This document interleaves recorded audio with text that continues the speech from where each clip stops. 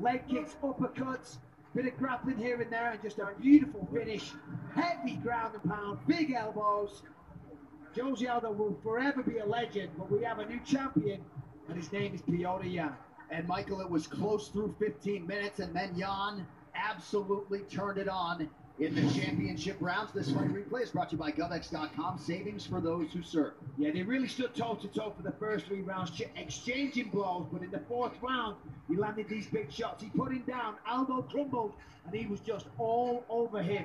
Punished him, looked for the crucifix, throwing little hammer fists there, looking for elbows. Then he took the back and he just pounded him from the turtle position. He had the one leg isolated.